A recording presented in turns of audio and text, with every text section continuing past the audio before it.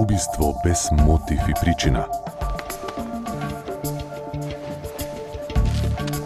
Honestly, I was just holding it for her. You're under arrest. Со само еден доказ. I Swear I have no idea where she was going the night she died. Кој укажува на мрачна тајна. This report gives us plenty for warning. Менталист.